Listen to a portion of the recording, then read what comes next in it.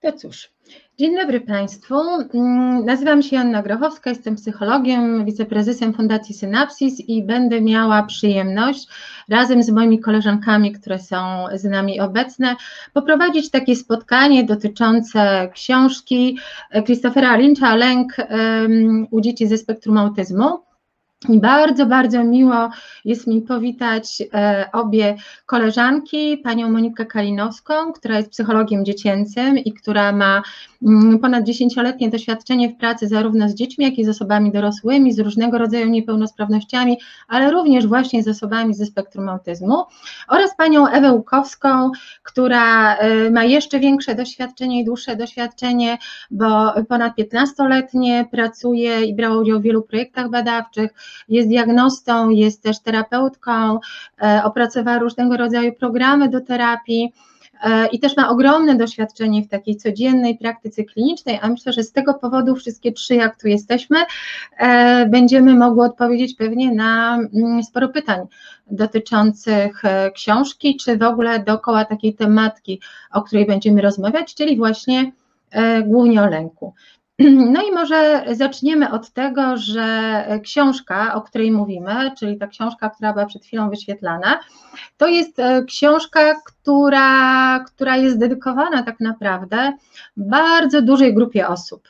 E, czyli nie tylko jest skierowana do specjalistów, e, czy to terapeutów, czy nauczycieli, nie tylko do rodziców, ale na pewno może być z powodzeniem wykorzystywana przez same e, osoby ze spektrum autyzmu, czy to nastolatki, czy osoby dorosłe, ponieważ e, jest tam bardzo wiele cennych rad, e, takich spostrzeżeń, którymi różne osoby się mogą posłużyć, a co więcej, odważę się na taką sugestię, że to jest również książka, którą, w której sporo mogą znaleźć dla siebie zupełnie inne osoby, które ze spektrum autyzmu nie mają nic wspólnego. No i teraz już przechodząc bezpośrednio do książki, do treści książki, chciałabym mm, zapytać i może Pierwsze pytanie skieruję do e, pani Ewy Łukowskiej. Oto e, w tytule książki mamy powiedziane, że ona jest o lęku dzieci ze spektrum autyzmu. Co to jest tak naprawdę ten lęk? Czym lęk różni się od strachu? Parę zdań na ten temat, bo myślę, że nie dla wszystkich naszych e, widzów to może być oczywiste. Myślę, żeby tak nie wchodząc w jakieś bardzo naukowe wywody, myślę, że to, co gdzieś tak moglibyśmy naj, najkrócej i najprościej powiedzieć, e, bo bardzo często potocznie używamy tych określeń zamiennie i gdzieś myślę i, i w rozmowach ze sobą, i w rozmowach gdzieś e, w tym przestrzeni internetowej i strach i lęk używa się, używa się zamiennie. E, jak warto rozróżnić, że strach bardzo często jest związany z jakąś konkretną sytuacją, no jest związany z naszą interpretacją tej sytuacji, widzimy psa, no i w zależności od tego, czy mamy złe doświadczenia dotychczas, dotychczas y, ze zwierzętami, czy dobre. Nasza interpretacja tej sytuacji, tego co widzimy, tego jak reaguje nasze ciało, e, może być tak, że odczuwamy strach e, w konkretnej, w konkretnej sytuacji. Natomiast lęk e, bardziej dotyczy pewnego stanu, który nie zawsze jest związany, który nie jest raczej związany z jakąś konkretną sytuacją. Jest to proces wewnętrzny i to jest y, dużo trudniejsze do takiego z ukonkretyzowania, gdzie on się pojawił, z czym się wiąże i rzeczywiście jest odczuwany, może być odczuwany w sytuacjach, które w naszym odczuciu e, no, nie wiążą się żadną konkretną sytuacją. Myślę, że dla rodziców to też jest taka ważna informacja, że ktoś może doświadczać, dziecko może doświadczać lęku, a my nie widzimy, stojąc z boku, bodźca, który mógłby to wywoływać, bo jeżeli widzimy jakąś reakcję dziecka na widok psa, no to możemy sobie to zinterpretować z boku, aha, boi się psa. Jeżeli zaczynają mu nim ręce drżeć, chowa się za spódnicę, no to rozumiemy ten kontekst. Natomiast może być taka sytuacja, że to napięcie dystres pojawia się, ale my nie jesteśmy w stanie tego zinterpretować, no co potem w niektórych wypadkach też może powodować, powodować zaburzenia lękowe, które już właśnie e, nie zawsze są do końca e, logiczne dla osób obserwujących. Także tutaj rozróżniamy strach w konkretnych sytuacjach, konkretnym bodźcem, a lęk jest jakby często związany z procesem wewnętrznym i nie związany z bezpośrednim zagrożeniem. Także tak bym to chyba na szybko gdzieś e, opowiedziała. Mhm, no i możemy sobie też powiedzieć, że w związku z tym takich sytuacji, w których, e, o których my do końca nie wiemy, co tak naprawdę się dzieje, a widzimy i obserwujemy, że dziecko zachowuje się w taki sposób e, zaskakujący, na przykład reaguje mm, krzykiem, płaczem, wycofywaniem się z sytuacji, może być bardzo dużo, my nie zawsze potrafimy to od początku wyłapać, nie zawsze potrafimy to dostrzec, I chciałam zapytać Panią Monikę, jak z Pani praktyki wynika, na ile te mm, problemy związane z lękiem, te sytuacje, jak często one się zdarzają? Czy z Pani praktyki wynika, że one e, dotyczą większości osób ze spektrum autyzmu, czy raczej są wyjątkowe? Jak Pani by to widziała? E, przede wszystkim ja pracuję w szkole, więc e, pracuję również z różnymi dziećmi. E, jakiś tam odsetek dzieciaki ze spektrum stanowią. I teraz w związku z tym, co się dzieje wokół nas, coraz więcej pojawia się takich sytuacji, które powodowane są rzeczywiście lękiem. Czyli rozumiem, że to jest tak, że mm, ta, ten rok ostatni, który wszyscy żeśmy przeżyli, E, ta sytuacja związana z pandemią to jest również taka sytuacja, w której tych e, zachowań lękowych, e, o czym powszechnie się pisze w prasie, tak słyszymy też w telewizji, że coraz większej grupy osób, takich osób neurotypowych, czy to dzieci, czy młodzieży, czy osób dorosłych też powiedzmy sobie, że to dotyczy nas wszystkich, jakby całego społeczeństwa i nie tylko u nas w kraju, że te ten, to nasilenie poziomu lęku jest e, no, bardzo wyraźne, ale rozumiem, że też to jest właśnie to, co w tej chwili Pani na przykład obserwuje w szkole u swoich, e, u swoich uczniów, u osób, z którymi Pani pracuje. Tak, dokładnie. E, szczególnie te częste przechodzenie z nauki zdalnej do stacjonarnej. Mając dzieci ze spektrum w klasach 1-3, dostaję sygnały od ich rodziców, że zdarzają się mm, nawet sytuacje regresowe typu um, moczenie nocne nawet. Bo dziecko traci ten grunt pod nogami, to poczucie bezpieczeństwa. I w związku z tym y, reaguje w taki, a nie inny sposób. Oczywiście nastolatków też to dotyczy i wiem, że niektóre placówki praktykują możliwość y, takiego hybrydowego systemu nauki, żeby część chociaż mogły przybywać w szkole, a część lekcji odbywać zdalnie. To też troszeczkę ułatwia, chociaż z drugiej strony wprowadza kolejną strukturę, która może też mieć swoje skutki. No właśnie, no na pewno ta nieprzewidywalność związana z pandemią jest znacząca. E, tutaj dziękujemy bardzo, bo pojawiło się pierwsze pytanie od pani Ewy, e, a ono dotyczy, e, na co rodzice powinni zwracać uwagę, żeby w porę wyłapać, że to zachowanie, które e, dziecko e, pokazuje, że ono może mieć takie podłoże lękowe. Chciałam zapytać mm, obie Panie o to, e, no właśnie, jakie mogą być, jakie zachowania u dzieci mogą świadczyć o tym, że ten poziom lęku jest zdecydowanie podwyższony, że coś się dzieje i na coś powinniśmy zwrócić uwagę. Tak właśnie z własnej praktyki. Pani Ewa A, może. Jasne, dzięki. A, myślę sobie, że jakby to, ta odpowiedź nie będzie dotyczyła tylko dzieci ze spektrum, bo myślę, że tak jak mówimy o tym, y, lęk po prostu w tej chwili nam bardzo mocno towarzyszy i, i myślę, że właśnie przez to, że dzieciaki na początku był konkret, baliśmy się koronawirusa, zachorowań. Myślę, że sami to jakby tak jak Państwo nas słuchacie i tak jak sami przeżywaliśmy, najpierw było bardzo konkretne zagrożenie, konkretna sytuacja, właśnie odpalił nam się strach a potem już ogarnęliśmy e, tą sytuację, jakoś nauczyliśmy się w niej funkcjonować, ale u wielu osób ten niepokój, napięcie, takie, takie jakieś poczucie zagrożenia, ono nie opadło. E, I to jest, i to jest rzeczywiście coś, co dużo dzieciaków e, gdzieś o tym mówi, że tak jak ja pracuję z nastolatkami z zespołem Aspergera, to mówią, że oni już się w sumie tego koronawirusa jako takiego nie boją, oni wiedzą, że nauczyciele są zaszczepieni, mają jakąś taką tą poznawczą wiedzę, Natomiast w tym przeżyciu cały czas ten taki niepokój, jakieś napięcie, jakieś poczucie zagrożenia im towarzyszy. E, I myślę sobie, że trochę odpowiadając też na pytanie pani Ewy, jak e, wyłapać, że to zachowanie lękowe już jest ponad, powiedzielibyśmy, jakąś przeciętną, ponad, e, ponad normę, że już wymaga jakiejś interwencji zewnętrznej, czy to psychologa, czy, czy lekarza psychiatry. Myślę, że taką ważną rzeczą, na którą ja bym zwróciła uwagę, to na ile ten niepokój, ten lęk utrudnia codzienne funkcjonowanie. Na ile gdzieś dziecko rezygnuje z aktywności, które do tej pory było, e, chciało się w nie angażować, na ile gdzieś e, pojawiają się jakieś takie somatyczne problemy, o których powiedziała pani Monika, czyli jakieś moczenie nocne, jakieś wybudzanie, problemy ze snem, zmiana e, apetytu, zwiększony bądź zmniejszony apetyt, czyli zaczyna się dziać nie tylko tak, że my możemy to ogarnąć na poziomie rodzinnym, usiądziemy, porozmawiamy, zaopiekujemy to dziecko w jego napięciu, powiemy, że właśnie myjemy ręce, dezynfekujemy, dlatego jesteśmy bezpieczni, ale kiedy widzimy, że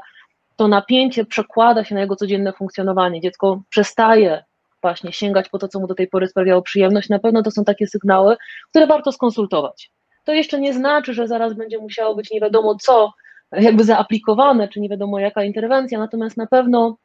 jeśli coś zmienia taką codzienną aktywność, um, czy dziecko właśnie myślę, wycofuje się w tym napięciu, nie chce chodzić do kolegów, to, to to może być jakimś takim sygnałem, który warto gdzieś, gdzieś zgłosić. Myślę, że czasem takie nieoczywiste sygnały, e, bo nie każde dziecko nam powie boję się. Nie każde dziecko gdzieś tam nazwie to, e, szczególnie możemy mieć trudność przy dzieciach, które mają problem w komunikacji werbalnej, które nie nazwą tego, ale możemy wtedy właśnie w takim behawiorze, w zachowaniu zobaczyć jakieś drżenia ciała, jakieś napięcie, napięcie mięśni. Ostatnio gdzieś konsultowałam chłopca, gdzie mama mówiła, że on jest tak napięty na co dzień, że jego mięśnie są cały czas twarde, dopiero rozróżnia się jak zasypia.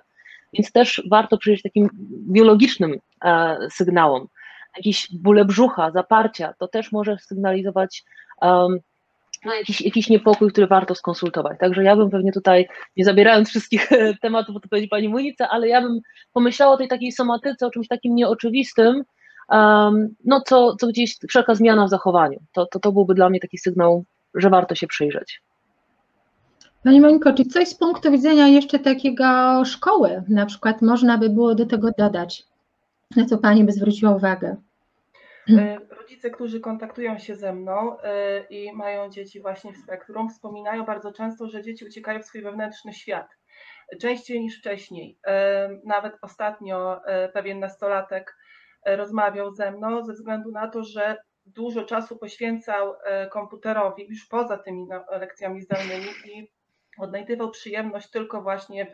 w tym takim ograniczonym przebywaniu w świecie wirtualnym co no, też jest niepokojącym symptomem, jeżeli chodzi już o zaburzenia depresyjne. Akurat tutaj konkretnej osoby mówię, ale mhm. Jeżeli chodzi o właśnie taką specyfikę, to pani Ewa y, moim zdaniem wyczerpała ten temat, tylko ja bym jeszcze zwróciła uwagę na to przebywanie w wewnętrznym świecie i nadużywanie mediów, które no niestety też jest charakterystyczne dla całej populacji dzieci, no większości, przepraszam, populacji dzieci i młodzieży ze względu na po prostu to nauczanie zdalne. Mhm. Ja myślę sobie, że to, co e, tutaj wybrzmiało, co ja bym też e, chciała jeszcze ze swojej strony dołożyć i podkreślić, to to, że nie trzeba szczególnie dużą uwagę zwracać na e, te osoby, które no właśnie nie mówią, które nie są w stanie, mm, mają na tyle nasilone problemy takie czy relacyjne, czy problemy w komunikowaniu się, nawet jeżeli posługują się dosyć sprawnie alternatywnymi formami porozumiewania się, to pamiętajmy, że ten język wtedy jest nieco uboższy, ta możliwość przekazywania informacji jest dużo dłuższa, dużo trudniejsza i często tym podstawowym e, sposobem komunikowania się będzie zachowanie. Mm, I e, pamiętam ten czas początku e, pandemii, ale te same jakby informacje docierają teraz od rodziców, czy właśnie od samych tych osób, które mają problemy w komunikowaniu się na zajęciach, e, takie związane z obawą e, przed e, wychodzeniem z domu, przed jakąkolwiek zmianą, przed tym, co będzie za chwilę, czy te zajęcia będą, czy tych zajęć nie będzie, czy ta szkoła będzie, czy jej nie będzie, bo my, zwróćmy uwagę na to, że my cały czas też się borykamy z tym, jaki będzie ten komunikat, czy znowu będzie lockdown, czy nie, czy znowu, czy dzieciaki pójdą do szkoły, czy nie, jak ja mam sobie zorganizować pracę, ale jako dorosłe osoby, lepiej mające lepsze sposoby organizacji czasu, radzenia sobie ze stresem, lepiej mm, e, tłumaczący sobie niezwykłej sytuacji, nietypowej sytuacji, e, łatwiej sobie z tym poradzimy, natomiast właśnie te osoby, szczególnie te osoby, które mają trudności w komunikowaniu się, a z drugiej strony słyszą, bo w kółko mamy włączony albo telewizor, albo internet, albo ktoś coś powiedział na ulicy gdzieś na temat pandemii, to e, to niezrozumienie dodatkowo powoduje taki, no właśnie tak jak to na początku powiedziała Pani Ewa, bardzo niejasną przyczynę, ale ciągły taki stan gotowości organizmu, e, taki podwyższony poziom lęku. Chciałabym zapytać mm, Pani Moniko teraz o taką rzecz, bo to, co jest dla mnie co było bardzo ciekawe w tej książce i co wydaje mi się też niezwykle pomocne, jeżeli chodzi o myślenie czy to rodziców, czy specjalistów na temat e, sytuacji związanych z lękiem, to to, że e, autor Christopher Lynch wymienia tak zwanych pięciu głównych podejrzanych. Jakby pani mogła powiedzieć, e, kogo, kogo czy też może raczej powinnam powiedzieć, co on podejrzewa e, i trochę jakbyśmy sobie też dookoła tego porozmawiało, bo wydaje mi się, że to też dla naszych widzów mogłoby być interesujące. Oczywiście, więc autor podaje tak pięć głównych źródeł lęku, które dotyczą E, dzieci i młodzież ze spektrum autyzmu. Przede wszystkim na początku wspomina o tej szeroko rozumianej sztywności, czyli trudnościach radzeniu sobie ze zmianą, z trudnościami w przejściu od jednej czynności do drugiej, czy sztywnych zasadach, które e, mają udział w życiu dzieciaków i młodzieży. Mm, te zachowania E, rutynowe czy sztywne zainteresowania. To jest jakby jedna taka ogólna kategoria. Druga to wrażliwość sensoryczna, ogólnie rozumiana, bo tutaj jest i wzrok, i słuch, i dotyk, i e, poczucie wewnętrzne. Trzecią kategorią to są wyzwania społeczne związane z, ogólnie z rozmowami, z nawiązywaniem kontaktu, z podtrzymywaniem tych kontaktów. Kolejna jakby taka kategoria to język i wyzwania jego dotyczące oraz ostatnie to frustracja wykonywanym zadaniem. I jak chciałabym podzielić się taką też refleksją, bo jak te pierwsze cztery były dla mnie takie oczywiste, e, jeżeli chodzi o spektrum, tak ta piąta kategoria frustracja wykonywanym zadaniem była dla mnie troszeczkę taka odkrywcza, bo e, wiadomo, że jeżeli coś nie wychodzi, e, czy nie, nie da się podołać zadaniu, to powoduje to różnego rodzaju reakcje, ale nie, nie powiązałabym od razu tego z lękiem, bardziej ze złością może. A to dla mnie było takie troszeczkę nowe. Mhm. Ja bym tutaj też dołożyła do tego, że ta, mm, mm, ten lęk związany e, z wykonywaniem e, pewnych zadań, on może e, no, jakby te wszystkie kategorie, które autor wymienia, czyli tych pięciu głównych podejrzanych, E, to nam się gdzieś tam obijają o uszy, natomiast e, i wiemy o tym, natomiast bardzo rzadko jest e, o tym mowa właśnie w kontekście lęku, że, ta, mm, że te trudności w komunikowaniu się, czy mm, sztywności, które się pojawiają u osób ze spektrum autyzmu, że one mogą prowadzić jakby do lęku, bo bardziej myślimy o tym właśnie w kategoriach frustracji czy złości. E, no i właśnie to wykonywanie zadań, co ciekawe, pamiętajmy o tym, że frustracje mogą i złość, i lęk też mogą powodować zarówno e, sytuacje związane ze zbyt prostymi zadaniami, kiedy e, osoba ze spektrum, dziecko może nie rozumieć, z czego to wynika i dlaczego ja dostaję takie proste zadania, a nie trudniejsze, czy coś jest ze mną nie tak, coś się stało, e, bo to wcale niekoniecznie, znowu, to co się dzieje również mm, u dzieci ze spektrum autyzmu, to jest e, budowanie sobie pewnej wizji tego, dlaczego coś się dzieje. My możemy się zastanawiać, czy ona jest prawidłowa, czy nie, czy jest zgodna z rzeczywistością, ale nie o to chodzi. Mm, na pewno dzieci mają różnego rodzaju przekonania na ten temat. Podobnie jak w sytuacji, kiedy zostają postawione przed zbyt trudnym wyzwaniem, e, któremu muszą sprostać, a szczególnie właśnie e, mówiąc o szkole, czy mówiąc o takiej sytuacji, jak my to nazywamy fachowo ekspozycji społecznej, tak? Wtedy, kiedy są rówieśnicy, są inne osoby, to, ten, to ta presja społeczna, która jest, żeby dobrze wypaść, dobrze się zaprezentować, jest ogromna. Padło takie pytanie, y, czy lęk może przerodzić się w agresję u dzieci? Ja chciałam zapytać Panią Ewę o to, e, jak to jest Pani doświadczeń, bo e, wydaje się, że to jest dosyć e, powszechne w zasadzie. Tak, myślę, że to nie jest dla nas takie intuicyjne, bo bardziej nam się kojarzy lęk z taką ucieczką i z wycofywaniem się. I, i, i rozumiem, że stąd się może też brać to pytanie. Natomiast właśnie jak się przyjrzymy tym sytuacjom, o których mówiłyśmy, czyli dziecko nie rozumie, pojawia się jakieś napięcie, albo właśnie ma zrobić, powiedzieć coś przed kolegami, czy mieć jakieś publiczne wystąpienie, e, i to jest sytuacja, która budzi dyskomfort, bądź nie potrafię zakomunikować do końca e, swoich potrzeb, bądź nie rozumiem tego, co się zadziewa wokół mnie, e, bądź zmieniło się na przykład coś w otoczeniu. Myślę, że to może być też coś takiego, co tutaj była, była mowa o tym, o tej niechęci do zmian. I bardzo mi się podobał taki przykład, no, nie niechęci, trudności z akceptowaniem zmian. I bardzo mi się podobał taki przykład tutaj podany przez autora, że jak zmienimy gazetkę ścienną w klasie, to dzieci neurotypowe wejdą, powiedzą, o, nowa gazetka i tyle, natomiast dziecko ze spektrum musi na nowo poznać całą klasę, na nowo musi oswoić tą przestrzeń. Oczywiście pewnie to nie dotyczy wszystkich osób ze spektrum, ale jakaś część dzieci w ten sposób funkcjonuje i w związku z tym lęk wzrasta,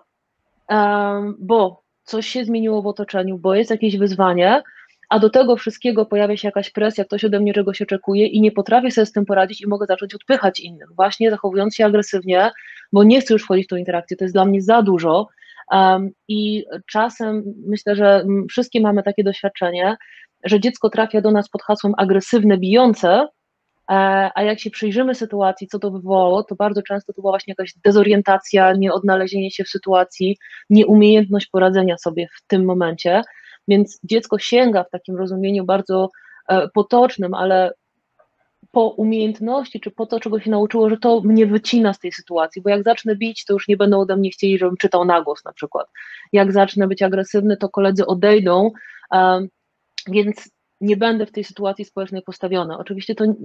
nigdy nie jest świadome i takie przemyślane celowe, natomiast na takim poziomie nauczenia się uderzyłem, zostałem zabrany z tej sytuacji i może to być paradoksalnie agresja też może być formą ucieczki, bo gdzieś tam prowadzi do tego, że jesteśmy zabrani z tej sytuacji. Także jak najbardziej lęk może powodować duże napięcie, dezorientację, a to może, może się przełożyć właśnie w zachowanie agresywne. Także często to spotykam um, i, i, dużym zaskoczeniem też dla, dla wielu rodziców jest takie pokazanie tej drugiej strony, że to wcale nie wyszło, że on był agresywny, bo chciał komuś zrobić krzywdę, czy chciał kogoś zranić, czy obrazić, tylko jest to forma zareagowania na sytuację trudną. No tutaj w ogóle warto też do tego dodać, bo e, w międzyczasie się pojawiło e, sporo pytań i spróbujemy za chwilę się do nich odnieść. Natomiast warto powiedzieć, że mm, jeżeli Państwo sięgniecie po tą, po tą książkę, do czego bardzo serdecznie zachęcamy, to e, wiele tych sytuacji, które są opisane w książce, wiele podanych przykładów, to są takie przykłady, które w pierwszym odczuciu, e, z którymi rodzice często, rodzice czy nauczyciele się zgłaszają do nas jako do e, psychologów pod hasłem trudnych zachowań u dzieci. I jest tu zadziwiająco, jakby bym powiedziała, dużo interpretacji, które pokazują właśnie dla takiej osoby, która no nie siedzi głęboko w tematyce spektrum autyzmu, e, gdzie zadziwiająco dużo tych sytuacji e, to są sytuacje, e, gdzie u podłoża leży właśnie duże napięcie, poziom lęku, mm, no i co za tym idzie, taki brak umiejętności przez dziecko radzenia sobie z tą sytuacją. Tu z tych pytań, które, mm, które padły w międzyczasie, to jeszcze do takich spraw związanych z pandemią, to się może odniesiemy. Natomiast padło kilka takich pytań związanych z tym, w jaki sposób można zniwelować, jak ograniczyć e, lęk, e, zmniejszyć nasilenie lęku u dzieci ze spektrum autyzmu w różnych sytuacjach, ale też w relacjach społecznych. E, czy jakieś właśnie takie przykłady z praktyki albo ewentualnie przykłady z książki jesteście w stanie Panie podać, które byłyby pomocne naszym widzom w takiemu przyjrzeniu się właśnie tej, tej sytuacji? Pani Moniko? E, ostatnio nawet e, proponowałam rodzicom jednej dziewczynki ze spektrum e, wizualizację oraz oddychanie, tak? Stworzyłyśmy taką specjalną tabelę, gdzie po przeprowadzeniu takich dwóch ćwiczeń moja uczennica mogła wklejać sobie naklejkę, co było też dla niej pewnym rodzajem wzmocnienia. I rzeczywiście muszę zachęcać cały czas do tego, żeby było o tym pamiętane, bo dzieciaki troszeczkę ze spektrum mogą się zniechęcić, jeżeli szybko nie widzą rezultatów tych działań. Jak wiemy, te wizualizacje czy e, różnego rodzaju oddychanie e, musi troszeczkę czasu potrwać, żeby mogło przynieść spodziewane efekty. Więc e, ja ostatnio to praktykowałam, aczkolwiek jest wiele rodzajów takich działań, które są wspierające. Mhm. pani, pani Ewa coś ewentualnie doda, bo nie Mi się bardzo podobało w tej książce. Autor jak najpierw wyodrębnił tych pięciu podejrzanych, czyli e, to, co, o czym się mówiła pani Monika, to powiedział pod koniec, jest bardzo fajne zdanie, znaczy tak w ostatnich rozdziałach, że z jednej strony my możemy działać na to środowisko, na otoczenie dziecka i myślę sobie, że to, co my możemy zrobić, i tutaj takie konkretne padło pytanie właśnie, jak przystosować ucznia do tych zmian w systemie nauczania. My możemy, a rozumiem, że dziecko, które źle na to reaguje, może mieć problem z głównym podejrzanym numer jeden, czyli z tą sztywnością, z trudnością w tranzycji pomiędzy zadaniami, to z jednej strony to, co my możemy zrobić, no to zadbać o tych podejrzanych, to, co możemy zmienić w otoczeniu dziecka, w codziennym funkcjonowaniu, jakieś wizualne plany, jakieś takie rozwiązania, które pomogą. Na razie wiemy, że do końca tygodnia mamy zdalne. Tutaj dowiemy się w piątek, co będzie od poniedziałku, żeby nawet zaznaczyć w kalendarzu, kiedy się dowiemy to, czego teraz nie wiemy. W taki bardzo, bardzo konkretny sposób. Więc z jednej strony my jako dorośli, my jako opiekunowie, nauczyciele, terapeuci możemy zająć się tym jakby zewnętrznym otoczeniem, ale właśnie z drugiej strony, jakby na, drogo, na, drugo, na drugą część jest to, o czym mówi pani Monika, uczenie strategii poradzenia sobie w sytuacji, kiedy jednak nie zabezpieczyliśmy dziecka. Bo wiadomo, i, i to jest też często coś słyszymy, no cały świat się nie dostosuje. Mam pewne wątpliwości, myślę, że dużo możemy zmienić w otoczeniu dzieci, żeby dobrze się poczuły i bezpiecznie, więc nie ma co nasilać lęku, jeżeli wiemy, że coś dzieciom utrudnia. Natomiast na pewno trzeba ich wyposażyć w narzędzia, jak mogę sobie poradzić, czyli właśnie w różnego rodzaju relaksacje, albo jak poprosić o pomoc, kogo mogę prosić o pomoc, dać im bardzo konkretne wskazówki, więc myślę, że działamy dwutorowo. Z jednej strony staramy się minimalizować, redukować to, co z zewnątrz może podbijać ten lęk, czyli zadbajmy tam, gdzie potrzeba o przewidywalność, tam, gdzie potrzeba o komfort sensoryczny, bo na pewno jeżeli po, jakby zignorujemy to, to trudno będzie sobie poradzić w sytuacji nagłej, ale jeżeli zadbamy o ten komfort y, na zewnątrz i damy dziecku narzędzia, no to jest szansa, że dziecko y, czy osoba dorosła poradzi sobie w tej trudnej sytuacji, natomiast na pewno, i tu się w 100% zgadzam z Panią Pani Moniko, jest to proces. To nie jest coś, co szybko, dwa spotkania, trzy ćwiczenia, książka z relaksacją do domu i dziecko już będzie zrelaksowane. Bardzo byśmy chcieli, ale, ale też my dorośli uczymy się relaksacji bardzo, bardzo długo i, i, takie nauczenie ciała, relaksowania się to jest, to jest proces, więc myślę, że to jest coś, co musi pracować jakby wszyscy, którzy pracują z dzieckiem, i specjaliści, i nauczyciele, i rodzice, żeby mieć ten sukces na tyle szybko, na ile to jest możliwe. Myślę sobie też, że jest tak, że ta książka, y, ona ma mm, wyraźnie, po pierwsze, mm, bardzo mocno jest podkreślona taka konieczność wcielenia się, ja bym to nazwała, w takiego detektywa mhm, e, tak. tutaj tak. przez rodziców czy przez nauczycieli, żeby dokładnie się przyjrzeć. Stąd to myślę sobie ten detektyw mi szedł do głowy, bo tam autor używa tego określenia o podejrzanych, tak, głównych podejrzanych, mm. żeby się im bardzo dokładnie przyjrzeć i że tym pierwszym krokiem, który my możemy zrobić, takim stosunkowo mimo wszystko najprostszym, to jest właśnie przyjrzenie się tym pięciu podejrzanym a, i zobaczenie, który z nich jest najbardziej podejrzany w przypadku mojego dziecka czy mojego ucznia, E, I co ja w związku z tym mogę zrobić, jeżeli chodzi o zmianę czy to środowiska, czy zmianę komunikatu, tak, e, tych informacji, które dziecku przekazujemy, z zaznaczeniem, i to jest bardzo, bardzo ważne. Ja mam wrażenie, że trochę żeśmy to powiedziały, ale chciałabym, żeby to dokładnie wybrzmiało, że nie jest tak, że u jednego dziecka to jest tylko ten jeden podejrzany. Najczęściej może być jeden czy dwóch głównych, ale prawdopodobnie u każdego dzieci ze spektrum będziemy mieli do czynienia z sytuacją, w której mm, ci podejrzani się trochę wymieniają w zależności od tego, e, jakie są warunki zewnętrzne, co się dzieje dookoła, dlatego tak ważne jest śledzenie tego. Co więcej, nawet bym powiedziała, że jeżeli już mamy wytypowanych tych podejrzanych, już wiemy, czy to na przykład jest właśnie problem z tranzycją, czy to jest na przykład problem z tym, że nieczytelne są komunikaty, czy że mm, zadania są zbyt trudne, zbyt skomplikowane i dziecko nie ma pewnego e, schematu postępowania w takiej sytuacji, to co jakiś czas trzeba tą pracę detektywistyczną powtórzyć i sprawdzić, czy coś się nie zmieniło, e, bo to jest ważne. I tutaj ja sobie nawet wynotowałam, że ta struktura książki jest taka, żeby przede wszystkim zidentyfikować tą przyczynę lęku. Tak jak mówię, one mogą być bardzo skomplikowane i mogą być z tych różnych obszarów, o których mówiła Pani Monika. A potem jest tak, że y, opisujemy ten problem, mamy, mm, są podane e, pewne zastrzeżenia, do tego jeszcze takie interpretacyjne i są do tego, autor podaje e, zawsze za każdym razem kilka różnych strategii postępowania, zarówno od strony rodzica, jak i samego dziecka. I to, co powiedziała pani Ewa, czyli to, że z jednej strony e, to jest kwestia działania przez nas, przez rodziców, terapeutów, nauczycieli, ale z drugiej strony w tym procesie jest niezwykle istotne właśnie to, żeby uczyć dzieci i to bym powiedziała, trzeba zacząć dosyć wcześnie i trzeba by tu było, bardzo zachęcamy do tego, żeby działać trochę tak e, prewencyjnie, profilaktycznie, żeby uczyć dzieci mm, takiego e, radzenia sobie ze stresem, bo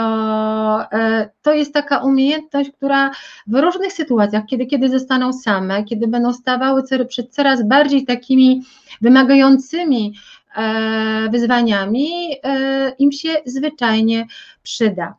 E, wracając jeszcze do właśnie takich strategii konkretnych,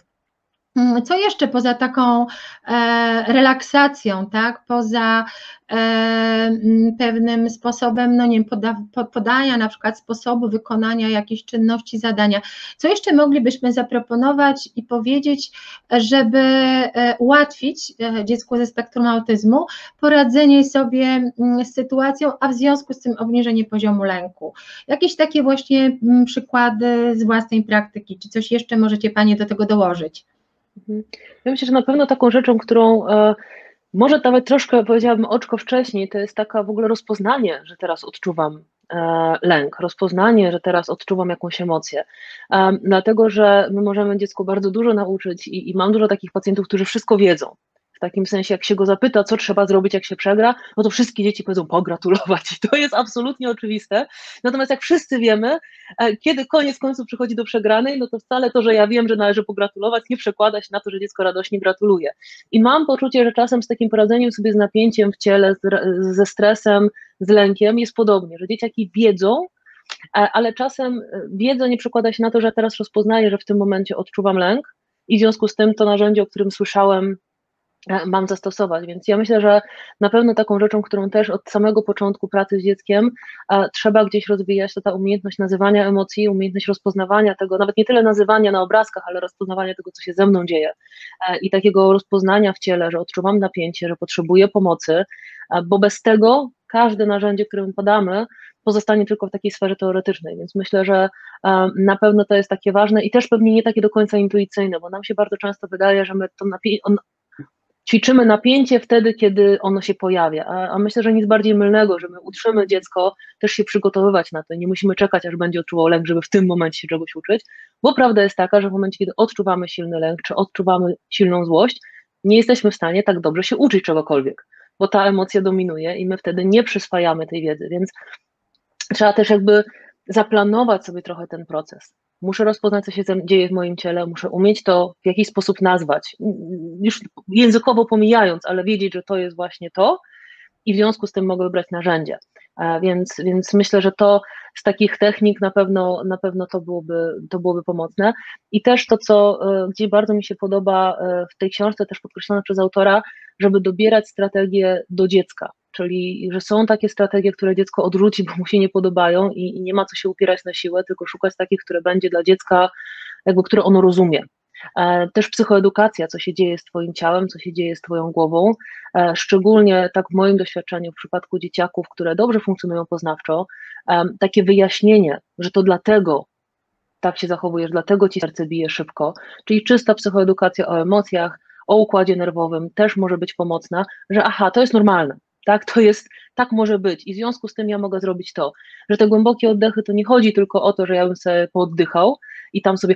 i już jest ok, tylko to czemuś ma służyć, ma to obniżyć napięcie, ma to obniżyć tętno i to wszystko jest powiązane. I widzę, że wtedy dzieciaki chętniej w to wchodzą, bo rozumieją po co.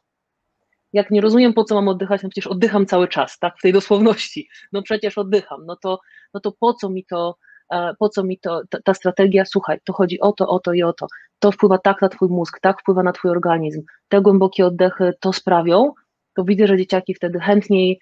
aha, okej, okay, no to ma to sens i, i, i to wtedy też, e, też fajnie, fajnie wspiera.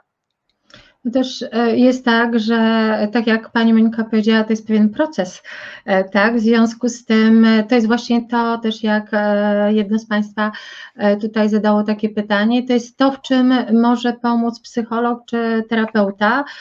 jak zaplanować ten proces, jak go przejść mhm. krok po kroku, bo nie jest to proste, nawet dla osób, które się specjalizują w tym, nie jest proste ustalenie tych kolejnych kroków, bo my do końca nie wiemy, na co dziecko zareaguje i jak i co się sprawdzi, co się nie sprawdzi. Ta indywidualizacja jest tutaj podstawą. Z tego punktu widzenia też samo to, że na przykład Państwa dzieci być może korzystają z takich zajęć jak trening umiejętności społecznych, nie będzie wystarczające, bo to jest jeszcze kwestia przełożenia właśnie tej teorii, które, którą mamy na zajęciach, na praktykę, mm, co, e, co jest tu e, niezwykle ważne. Czy jeszcze z takich właśnie mm, bardzo konkretnych e, strategii coś moglibyśmy, moglibyśmy zaproponować? Ja bym chciała jeszcze tu zgodzić się z Panią Ewo, jeżeli chodzi o tą psychoedukację, bo nawet ze swoimi y, dzieciakami ze spektrum oglądam ażurowy atlas anatomiczny i oni są po prostu zafascynowani wręcz, że ten, jak pokazuję, układ nerwowy, jak to oddziaływuje na układ trawienny, na oddychanie, na mięśnie i rzeczywiście są wtedy bardziej przekonane, aha, okej, okay, to rozumiem, dlaczego to ćwiczę, że moje wszystkie układy, które funkcjonują w ciele, łatwiej się rozluźnią i ten sens jest wtedy rzeczywiście bardziej widoczny. Ja, e, wracając do Pani pytania, Pani Janno, e, ze starszymi e, dzieciakami na spektrum, lubię pracować tą metodą rozwiązywania problemów poprzez poszerzanie horyzontów, żeby dostrzegły różne aspekty danej sytuacji i poprzez burzę mózgów, a następnie poszukiwanie możliwych rozwiązań zobaczyły, że rzeczywiście można inaczej spojrzeć na dany temat, można inaczej postąpić, a przez co, kiedy zmieni się nam to podejście, e, zmieni się nasze myślenie. Już do tej pory pamiętam e, swojego nastolatka, który już jest gdzieś w szkole średniej, który powiedział do mnie, a pani to zawsze o tym podejściu. Ja mówię, no tak, no tak, bo to wszystko wtedy zmienia i ta nasza mhm. burza mózgów ma taki cel, żebyś ty zobaczył inną perspektywę. No. Ja jeszcze tak sobie myślę, mhm. e, przepraszam, e, nie, jeszcze nie, sobie myślę, e, jakby taką strategią, tak, tak myślę jakoś jakiejś takiej e, podpowiedzi też dla rodziców, e, myślę, że mm, jak w ogóle, jeżeli mamy jakąś, jakiś lęk przed konkretną sytuacją, czy jakiś właśnie, nie wiem, nagle niechęć do wychodzenia z domu, e, to też na pewno warto jest stosować metodę małych kroków że nie od razu oczekujemy od dziecka, że ono już będzie tam, gdzie my byśmy chcieli, żeby było, że ono sobie doskonale poradzi już tym wszystkim, ale takie drobne zbliżanie się do celu, czyli nawet wyjść za drzwi i poczekać trzy minuty na klatce i wrócić, a potem jak już to przestanie budzić napięcie, to potem sobie schodzimy przed dom. I to czasem te drobne kroki, oczywiście one muszą być po pierwsze powtarzane. To nie jest tak, że raz wyszedł na klatkę schodową i jest ok, to możemy już iść do sklepu i samodzielnie zrobić zakupy. Natomiast to zadanie, powiedzmy samodzielne zrobienie zakupów bez napięcia, czy pójście, przejście przez jezdnię, no tutaj dowolne sytuacje, bo też padają takie pytania bardzo konkretne, to trzeba to rozbić na drobne kroki i oswajać każdy krok po kolei. To jest wtedy trochę bardziej zjadliwe, moglibyśmy powiedzieć, dla dziecka. Plus, jak sobie poradzi z tą jedną małą cząstką, to ma też takie poczucie sukcesu. Poradziłem sobie, dałem radę, popatrzyłem na zdjęcie psa, a teraz obejrzałem film o pieskach a teraz popatrzyłem na psa z daleka. I tak po kolei, bo jakbyśmy od razu oczekiwali, że on podejdzie, przytuli się do psa, to to może właśnie być za dużo i, i nie mieć takiej gotowości na to dziecko. Więc w wielu sytuacjach pracy z lękiem właśnie stosujemy metodę drobnych kroków, małych kroków, powtarzania tego kroku, przechodzenia do następnego kroku w momencie, kiedy poprzedni jest opanowany e, i widać, że wtedy dzieciaki czują, ok, dam radę, ta poprzeczka jest taka osiągalna. Także też jeszcze pomyślałam o tym. No i wszystkie metody takiej pracy poznawczo-behawioralnej, czyli takiego rozumienia, e, odkładania myśli na potem, pudełka na zmartwienia, sejfy na zmartwienia, e, właśnie zmiana perspektywy, no to to są takie narzędzia, które gdzieś, przy, szczególnie przy dzieciach z zespołem Aspergera, nastolatkach, to to się fajnie sprawdza, natomiast na pewno jest trochę trudniejsze u przedszkolaków, no bo tam e, inne też takie możliwości poznawcze. E, pojawiło się znowu nam e, sporo pytań i może spróbujemy się mm, do nich e, troszkę, troszkę odnieść. Tutaj pani Anna pyta o to, że znaczy pisze o, o, o tym, że jej syn, który ma diagnozę zespołu Aspergera, nie tak dawno temu zdiagnozowany, jest bardzo tak, e, e, jest tak zestresowany, że nie odzywa się na zdalnych lekcjach. Być może, e, bo to jest w formie pytania, czuje strach przed porażką i co można zrobić. Tu może, mm, oczywiście możemy zaproponować różne rozwiązania, natomiast wydaje się, że przede wszystkim, bo to jest tylko hipoteza, czy to jest strach przed porażką, czy być może, mm, a jeżeli nawet, to przed jakiego rodzaju rodzaju porażką, bo niby się to wydaje takie dosyć proste, ale to, co jest e, też cenne w tej książce, o czym autor pisze, to to, że mm, jeżeli mamy takie sytuacje, to powinniśmy się zawsze przyjrzeć temu, czy e, te sytuacje i brak odzywania się, tak jak na, na, na, tym konkretnym przykładzie, będą występowały na każdej lekcji u każdego nauczyciela. Czy też być może będzie tak, że są takie lekcje, są takie tematy, są tacy nauczyciele, e, gdzie dziecko jednak zabierze głos, czy odpowie na jakieś pytanie. E, czyli to co, e, to, co jest tutaj bardzo ważne, to taka próba zróżnicowania E, czy mm, są takie sytuacje, w których dziecko zachowuje się w odmienny sposób, różny sposób, gdzie jest w stanie pokazać więcej swoich mocnych stron, bo to, to, to co warto podkreślić, mm, na co autor też stawia, to właśnie na te mocne strony dziecka, tak, żeby e, je wykorzystywać, ale i budować, tworzyć te mocne strony, dawać dziecku narzędzia właśnie do radzenia sobie mm, z różnego rodzaju sytuacjami. Czy to jest tak, że e, te sytuacje, w których dziecko się nie odzywa, dotyczą e, właśnie no zawsze tych samych lekcji z tym samym nauczycielem, czy nie? A może to jest tak, że pojawiają się raczej na początku tygodnia, czyli wtedy, kiedy dziecko po weekendzie wraca do szkoły na zajęcia, a na przykład pod koniec tygodnia, jak już się oswoi z sytuacją, to być może będzie tak, że e, zdarzy mu się jednak odezwać na, na tych lekcjach. Co się wtedy dzieje, jak się odezwie? Czy ktoś to dostrzeże, czy nie? Jak to zostanie zostanie skomentowane, mm, czy nauczyciel w jakikolwiek sposób to wzmocni. Czy może być taka sytuacja, że gdzieś na jakimś forum poza klasą, nie wiem, bo to różnie dzieci mają do tego dostęp, pojawiają się jakieś komentarze i jakie, czy one nie są też takie, które są dla dziecka zwyczajnie e, trudne. Do tego można jeszcze dodać, czy to jest tak, że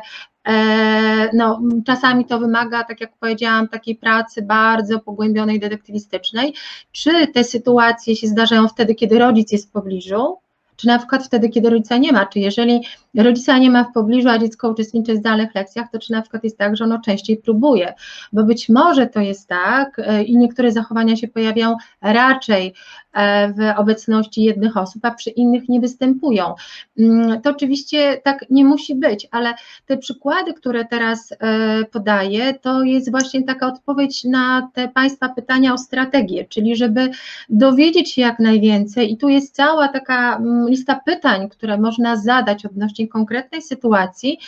i wtedy, kiedy prowadzimy te obserwacje, kiedy się nad tym zastanawiamy, a jeżeli czegoś nie wiemy, bo możemy nie znać odpowiedzi na wszystkie pytania oczywiście, to możemy się dowiedzieć, sprawdzić, zapytać nauczyciela, poprosić o, o taką obserwację i wtedy będziemy wiedzieli. Wtedy też będziemy wiedzieli, co w związku z tym możemy zrobić, bo być może to jest tak, że na przykład, zakładając teraz, mm, odnosząc się do tego przykładu jeszcze cały czas, że jeżeli dziecko nie odpowiada na początku tygodnia, ale pod koniec tygodnia zaczyna uczestniczyć w lekcjach, to być może trzeba mu przypomnieć taki mm, e, schemat, tak, albo zapewnić to, żeby on się lepiej poczuł na tych lekcjach. Być może to jest tak, że problemem w ogóle nie jest oswajanie się sytuacją, tylko zadanie pytania, które byłoby bezpośrednio skierowane do dziecka albo do dwójki, trójki dzieci, żeby rozproszyć tą, e, to napięcie na przykład, które jest, więc to jest to, o czym mówiła Pani Ewa, tak, co zresztą pani Monika też podkreślała, taka e, bardzo, bardzo duża tutaj e, indywidualizacja mm, i też warto się przyjrzeć temu, co e, co tutaj jest, jakby szerzej spojrzeć na te przyczyny, bo stawianie hipotez jest bardzo ważne, czyli zastanawianie się przez nas, dlaczego tak jest, ale to poszukiwanie odpowiedzi powinno być takie bardzo, bardzo szerokie. E, tutaj, jeżeli chodzi o pytania e, dotyczące, tu są jeszcze pytania dotyczące e, tego, było takie pytanie o to, czy jeżeli rodzice odczuwają lęk, to czy dziecko może też odczuwać lęk. To, to też zapytam Panie o, o zdanie w tej sprawie. Ja myślę, że jakby czasem obserwujemy że to się może tak, y, tak się zadziać może, dlatego że dzieci uczą się przez obserwację i przez modelowanie. W związku z czym, jeżeli rodzic zachowuje się w konkretny sposób w konkretnych sytuacjach, to dziecko może nauczyć się, że ta sytuacja jest sytuacją w jakiś sposób postrzeganą jako niebezpieczne, mogę odbierać tę sytuację jako niebezpieczną. Przykładowo no, ten pies, o którym co jakiś czas tutaj wspominam, jeżeli rodzic boi się psów, unika kontaktu, sztywnieje na widok psa, to dziecko uczy się, że to może być sytuacja niebezpieczna. Więc pod tym względem autor nie porusza tego tematu jakoś bardzo szczególnie w swojej książce, ale rzeczywiście jest tak, że jeżeli um, dużo jest takiego e, tematu lęku w domu, może być tak, że dziecko przez obserwację, przez naśladownictwo, przez, przez to, że tak zostało znaczy nauczone, no, no, w środowisku, w którym się wychowywało, po prostu widziało, że takie reakcje są, może, może tak być. I to na pewno jest tak, że e, jeśli rodzic e, też odczuwa dużo lęku, no to warto pracować dwutorowo. I tutaj troszkę nawiązując do innego pytania, czy psychoedukacja rodziców też jest ważna, jak najbardziej, dlatego że my nie naprawimy dziecka jak w warsztacie samochodowym na zajęciach terapeutycznych, ale jeżeli pracujemy z lękiem i rodzic mówi, ja też się boję, to pracujemy z całą rodziną, z całym systemem. I niejednokrotnie pracę domową ma i rodzic, i dziecko, i, i gdzieś uczymy się, oswajamy pewne rzeczy, no i wtedy jak najbardziej ta terapia ma szansę pójść. Także ja bym też unikała takiego, że to jest wina czyjaś, że to jest wina rodziców, bo oni się kiedyś bali. E, raczej to po prostu wychodzi, ale można pracować zarówno jeden, jak i drugi, duży i mały, tych strategii może skorzystać. I myślę, że ta książka ona nie jest skupiona tylko na dzieciach. Te strategie są też do zastosowania też przez osoby dorosłe, absolutnie przez rodziców neurotypowych. Myślę, że sporo z tych strategii może być do stosowania w swoim życiu. Także to tak to prawda, tutaj pani Ewa mówi, że to nie jest wina rodziców że e, od razu mi się skojarzyła nasza po prostu ludzka biologia i neurony lustrzane, które po prostu dzieci ze spektrum też posiadają i one odbierają komunikaty, które wy, wysyłają rodzice, więc jak najbardziej zaopiekowali się przez rodziców swoimi uczuciami przede wszystkim jest e, bardzo wskazane, żeby te dzieci czuły się bezpiecznie. E, to myślę też, że to jest tak, że mm, mm, mówi się o tym, co prawda, że osoby ze spektrum autyzmu mają problemy z mm, odczytywaniem emocji e, innych osób i rzeczywiście nie jest to, wymaga to dużego wysiłku, często od nich nie jest to proste, ale z drugiej strony na pewno są w stanie odbierać e, pewien taki poziom napięcia, który jest i który my jako dorośli niekoniecznie specjalnie wytwarzamy, nawet jak próbujemy się, próbujemy nad swoimi niepokojami, lękami zapanować, no to na przykład weźmy teraz tą sytuację, kończy nam się niedługo rok szkolny, mamy sytuację, w której część e, naszych dzieci to są e, ośmioklasiści czy maturzyści, będą podchodzić do teraz do egzaminów, znowu nic nie wiemy, bardzo się denerwujemy, nie tylko tym, czy te egzaminy się odbędą, tym jak one będą wyglądać, ale też tym, czy na przykład w międzyczasie, ponieważ egzaminy miały się odbyć stacjonarnie, czy ktoś z domowników, e, przepraszam, nie będzie na kwarantannie, nie załapie czegoś, czy dziecko będzie mogło przystąpić do egzaminu, co się wtedy wydarzy, więc nawet nie mówiąc o tym, nie rozmawiając, ale czując ten, e, to podwyższone napięcie, sami obawiając się tej sytuacji, jak, e, co w ogóle może być, na pewno to się daje odczuć w domu i warto na to zwracać uwagę. Warto też jakby myśleć o tym, a co ja w związku z tym czuję. I tak jak w książce są podane też właśnie te strategie takie związane z z badaniem własnego ciała, e, z pracą nad e, tym, jak, nie wiem, jak możemy się rozluźniać, wizualizować różne rzeczy, pracować nad oddechem i tak dalej, to warto to samemu przećwiczyć. Tym bardziej, że osoby ze spektrum w ogóle generalnie, jak się popatrzy na, na ich konstrukcję, na, na to, jak to ciało pracuje, często mają bardzo dużo napięcia w sobie i trzeba wręcz intencjonalnie, krok po kroku właśnie uczyć je rozluźniania i pracy nad ciałem. E, tutaj padło takie pytanie dotyczące pobierania krwi. O ile ja pamiętam, to proszę w razie czego, żebyście mnie Panie poprawił, w książce nie ma przykładu związanego z pobieraniem krwi, ale jest e, przykład związany z wizytą u dentysty e, i myślę sobie, że to jest analogia czyli takie strategie, e, tam są różne zresztą podane, zarówno takie, żeby nie uprzedzać wcześniej, nie mówić, jak i takie, żeby właśnie to robić i są podane powody, dla których, e, dla których to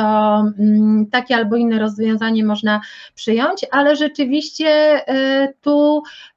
ta, mm, te sytuacje, które stanowią bardzo duże wyzwanie dla, dla dzieci, są jak najbardziej mm, omówione i można tutaj nawiązać też do tego, o czym Panie mówiły, czyli do takiej psychoedukacji, tak? czyli żeby e, mówić o pewnych rzeczach, poruszać pewne sytuacje, opisywać, co krok po kroku może się zdarzyć mm, i to również może być bardzo, bardzo pomocne. Chciałam zapytać jeszcze o taką rzecz, bo też trochę pytań jest z tym związanych, czyli pytania właśnie o, o taki lęk związany z upływem czasu, wtedy kiedy dziecko pracuje, ma rozwiązać na przykład zadanie na klasówce, wszystko jedno, czy to jest zdalnie, czy to jest stacjonarnie, to nie ma żadnego znaczenia, czy że zbliża się jakieś, zbliża się jakieś wydarzenie, przed którym właśnie dziecko odczuwa lęk. Jednym z takich sposobów, o których autor mówi już nie w sensie nawet naszej organizacji sytuacji, czyli nas przez osoby dorosłe, tylko właśnie uczenia tego przez dzieci jest umiejętność zarządzania czasem. Jak Pani to widzicie, na ile to Wam się udaje, bo no jestem przekonana, że na pewno żeście niejednokrotnie próbowały, na ile to się udaje rzeczywiście wprowadzać w pracy? I również tutaj jest moje pytanie o to, na ile to się udaje w takiej pracy właśnie z młodszymi dziećmi albo z tymi osobami nie posługującymi się mową werbalną.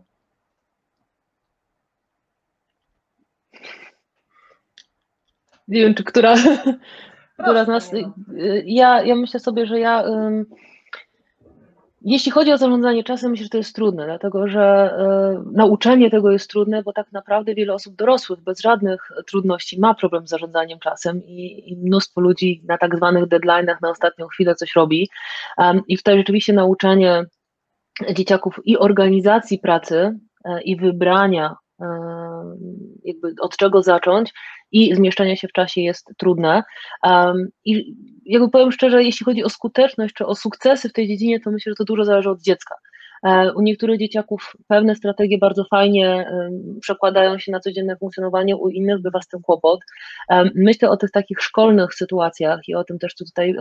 padło w komentarzach. E, na pewno to jest taką ważną umiejętnością, to nauczyć dziecko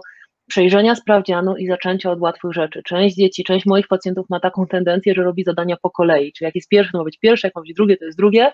e, i jak jest pierwsze trudne, to utyka w tym pierwszym zadaniu, mimo że drugie, trzecie, piąte by zrobiło bez najmniejszego problemu. Więc na przykład uczymy się tej elastyczności. Przeczytaj wszystkie zadania, wybierz to, które jest najłatwiejsze, no bo nie utkniesz na tym najtrudniejszym. Więc nawet takie rzeczy, więc znowu tutaj trzeba się przyjrzeć, podobnie tak jak tutaj pani Joanna mówiła, sytuacja może nam się wydawać oczywista, że to jest tylko lęk przed upływem czasu, ale to może być, że na przykład następne jest za trudne. Czyli znowu też, można powiedzieć, znowu ten detektyw, znowu takie bardzo głębokie poszukanie, co tutaj takiego, takiego się dzieje. Czy na przykład a może jest trudne to, że dziecko widzi czas odlicza, odliczany. Może wystarczyłoby, żebyśmy wyłączyli ten zegar i po prostu zasygnalizowali za 5 minut koniec, czy za 10 minut koniec. Może to, że te sekundy gdzieś tam przechodzą, może to budzi napięcie. I wcale nie chodzi o czas, ale o to odliczanie. A właśnie więc pytanie, co by było, gdyby, czy tak samo dziecko źle reagowało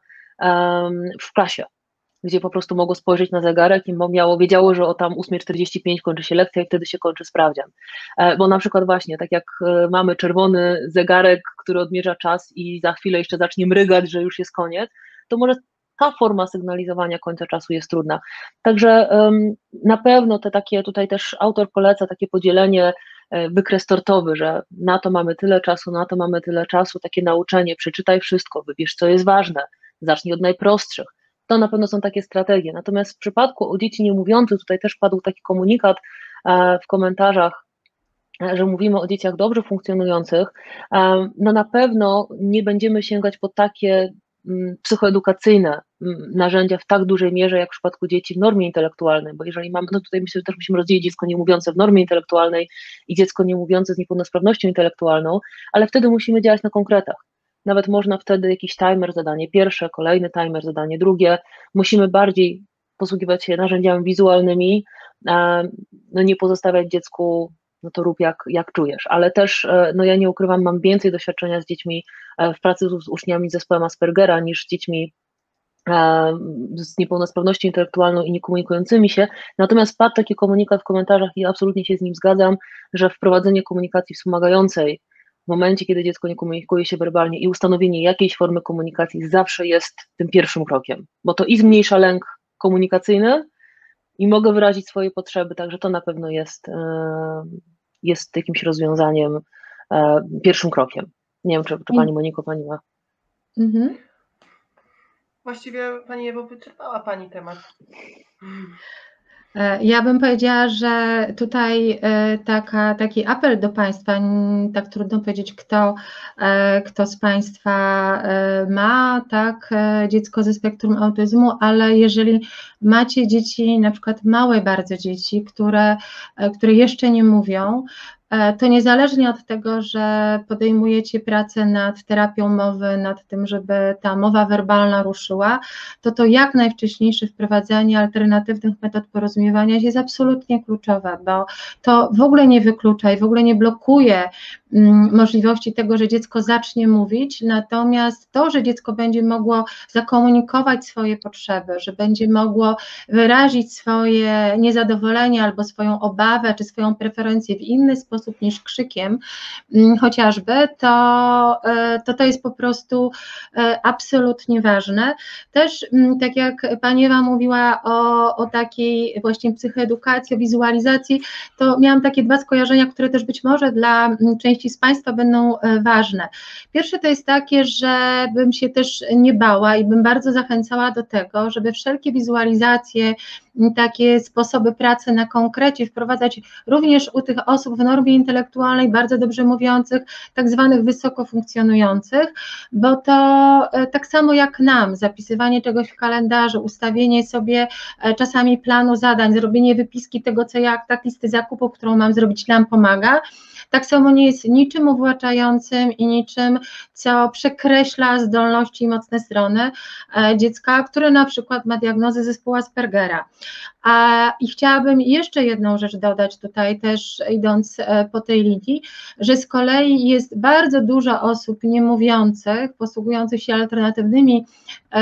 formami porozumiewania się, które e, czasami również nie będącymi w normie intelektualnej, które znakomicie mogą korzystać z psychedukacji, z pomocy. Mamy też, myślę sobie, że nie tylko Fundacja Synapsis, bardzo dużo organizacji teraz odkąd e, rozpoczęła się pandemia, opracował bardzo wiele poradników, różnych materiałów, szczególnie takich właśnie tablic do komunikacji, do wizualizacji z różnego rodzaju rysunkami, obrazkami. Jedne były autorskie, inne były ściągane z zagranicy, ale właśnie po to, żeby tłumaczyć, czym jest ta pandemia, jak się zachowywać, wspomagać różnego rodzaju, tam znajdziecie Państwo też materiały, które niekoniecznie muszą być niczej odnosić do pandemii, ale w ogóle się mogą odnosić do sytuacji związanych ze zdrowiem, z wizytą u lekarza, jak się przygotować do różnych rzeczy i tak dalej, i tak dalej. I bardzo zachęcam do korzystania z tego e, nie tylko właśnie u osób e, niemówiących, ale też u osób posługujących się językiem. Zresztą część takich materiałów powstaje dla osób, e, nie wiem, na przykład starszych czy po wypadkach, które krótkotrwale nie są w stanie mówić, bo mają, nie wiem, unieruchomioną na przykład szczękę, tak, ale mogą się posługiwać wtedy takimi, takimi pomocami. Było też, e, tutaj jest bardzo też taka słuszna uwaga, że plany aktywności, plany dnia znacząco zmniejszają lęk. To prawda. E, ze względu na tę e, taką chęć i potrzebę przywiązania często do schematów, na tą potrzebę przewidywalności, właśnie te plany dnia, to co jest, to, co, to, to jest to zmniejszanie lęku akurat w tym, w tym obszarze. Mm, I było jeszcze pytanie, ja bym się chciała do tego odnieść, bo powoli musimy kończyć. A padło takie pytanie o to, na ile zachowania kompulsywne mogą być związane z lękiem. E, czy któraś z Pań mogłaby jeszcze e, odpowiedzieć na to pytanie?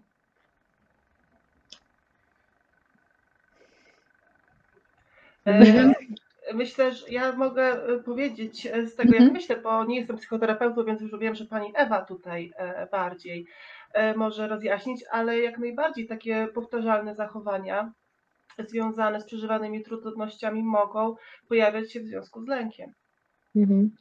E, generalnie dużo się też mówi, że te zachowania właśnie służą redukcji lęku. I w momencie, kiedy mm, osoba nie będzie mogła wykonać swojej kompulsji, no to wtedy ten lęk wzrasta. E, więc, więc jak najbardziej jest to, jest to czy myśli natrętne, czy zachowania natrętne, jak najbardziej są powiązane z lękiem i też pracujemy e, nad tym. W poprzedniej klasyfikacji amerykańskiej to w ogóle było wśród zaburzeń lękowych. W związku z czym gdzieś nawet było to klasyfikowane, teraz tam się zostało przesunięte. Niemniej jednak bardzo mocno jest to powiązane i jak najbardziej, i to też może być pierwszy, może to być jeden z sygnałów,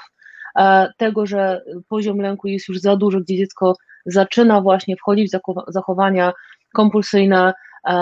właśnie nadmiarowo i jak nie umyje pięć razy rąk przed wyjściem z domu albo po powrocie do domu, no to wtedy widzimy, że okej, okay, to na pewno jest coś, co warto skonsultować. Także jak najbardziej, jak najbardziej to połączenie też, też może mieć miejsce. E, też warto do tego dodać, bo o tym żeśmy bardzo mało dzisiaj mówili, mimo że to jest jeden z tych głównych podejrzanych, czyli o takich trudnościach sensorycznych, które mają osoby ze spektrum autyzmu, ale to wszystko, co mm, nazywamy fachowo stimami czy manieryzmami ruchowymi i tak dalej, to są również zachowania, które mm, często mogą służyć e, albo redukcji lęku, albo takiego e, tak przystosowaniu, odreagowaniu mm, tego, co się co się wydarzyło w ciągu dnia i pewnie część z Państwa ma takie doświadczenia jako rodzice, że mm, na terenie szkoły nauczyciele w ogóle nie sygnalizują, to jeszcze wtedy, kiedy oczywiście lekcje były stacjonarne, że nauczyciele w ogóle nie relacjonują tego, że dziecko, e, nie wiem, kręci w kółko, czy macha rękoma, czy coś tam e, e, ma tego rodzaju zachowania, natomiast po przyjściu do domu mamy godzinę, gdzie cały czas dziecko coś takiego musi robić, wykonywać tego rodzaju gesty, więc chociaż nie traktujemy zachowań mm, takich e, autostymulacyjnych jako zachowań kompulsywnych, to jednak e, no, warto, warto o tym pamiętać i rzeczywiście warto jest zwracać uwagę na, na wszystkie te grupy, które są e, w książce wymienione. Też na pewno jest tak, że tutaj pojawiła się też uwaga jednej z osób, że o fobiach społecznych. No, fobie społeczne są oczywiście e, też na takim tle e, właśnie lęku. E, on nie, nie zawsze wiemy, jaka jest przyczyna, nie zawsze mm, to jest związane z bardzo konkretnym wydarzeniem, chociaż często jak się pracuje psychoterapeutycznie, szczególnie z dorosłymi ludźmi, to, to to gdzieś tam może wyjść. Natomiast bardzo istotne jest naprawdę i myślę sobie, że jak tu jesteśmy trzy, to E, wszystkie, e,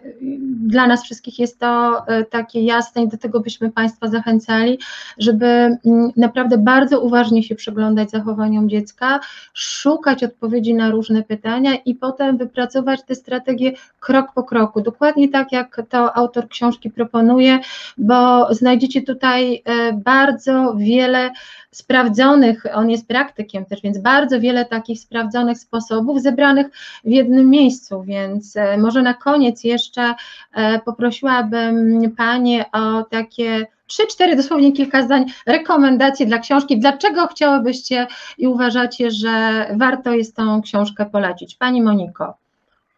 E, przede wszystkim za praktyczne porady i konkretne tutaj wskazówki, które można zastosować w, e, nie tylko w domu, ale przede wszystkim w szkole. Dla mnie jest, są ważne tutaj, e, jest taki nawet fragment, w którym jest napisane, jak warto wprowadzać w szkole działania, które mają na celu zniwelować działanie tych pięciu źródeł. Może teraz nie jest to do końca, że tak powiem, E, adekwatne, bo jednak jest jeszcze to nauczanie zdalne, ale jak dzieci wrócą stacjonarnie, to jak najbardziej myślę, że to będzie bardzo ciekawa lektura dla nauczycieli, wychowawców, pedagogów. Mhm. Tak. Dla mnie na pewno e, ogromnym procent tej książki jest to, że bardzo łatwo się ją czyta, że szczególnie dla rodziców, którzy czasem trudno jest im przebrnąć przez naukowy język, ona jest bardzo, bardzo taka konkretna, dużo praktycznych przykładów, e, więc zaczynamy historią chłopca i kończymy historią tego samego chłopca, jak można byłoby zmodyfikować jego funkcjonowanie, a po środku są te wszystkie narzędzia, dlaczego tak, a nie inaczej. Więc mam takie poczucie, że zarówno osoby zaczynające swoją pracę z dziećmi ze spektrum, jak i rodzice skorzystają właśnie taką prostotą i taką dużą, dużą dawką konkretu, bo, bo tutaj autor w ogóle nie poświęca czasu na omawianie mechanizmów lęku i tego typu rzeczy, ale przechodzi do, do, do właśnie bardzo konkretnych wskazówek. E, czyta się ją bardzo szybko, też takim e, po prostu siada się i się czyta, e, nie męczy to, więc myślę, że, że to jest fajne, plus też ten podział, o którym mówiłyśmy, że konkretne rozdziały są poświęcone konkretnym trudnościom, jak rodzic widzi, aha, to na pewno moje dziecko może do tego wrócić, łatwo odnaleźć te informacje, także jest bardzo przyjazna, jeśli chodzi o taką, taką pracę dla rodziców i myślę, że dla osób, które zaczynają, ale też doświadczonych chętnie będę do niej wracała, także mocno mhm. To ja na zakończenie jeszcze pokażę książkę i dołożę od siebie, że e, ta książka, nie wiem na ile widać tutaj, teraz są tylko dwie karteczki, ale to dlatego, że ja podklejałam swoje karteczki przed naszym dzisiejszym spotkaniem. E, natomiast miałam ich mnóstwo i mimo e, naprawdę wielu, wielu lat pracy, bo już 30 lat pracy z osobami ze spektrum autyzmu, no pozaznaczałam sobie bardzo dużo takich wartościowych, ciekawych rzeczy i myślę sobie, że one naprawdę są do wykorzystania w praktyce, a co więcej, powiedziałabym, że w tej jednej, jedynej książce, którą, e, którą tutaj trzymam w ręku i pokazuję,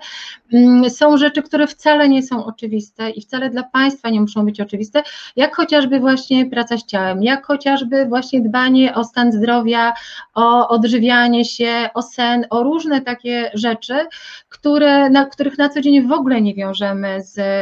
e, z poziomem lęku, a raczej patrzymy na nie jako na objawy e, lęku, a nie jako na coś, co może nasilać dodatkowo ten lęk. Więc e, bardzo wszystkim dziękuję za udział Pani Monice, Pani Ewie, wydawnictwu za wydanie książki i e, za to, że zdecydowali się kolejną dobrą pozycję wydać, bo tych pozycji na rynku polskim wciąż jeszcze nie jest aż tak dużo. I bardzo serdecznie też dziękujemy Państwu za wszystkie pytania, za obecność, za aktywny udział. To dla nas też bardzo ważne, bo nam bardzo zależało na tym, żeby to, o czym będziemy mówić, było jak najbardziej dla Państwa użyteczne do wykorzystania.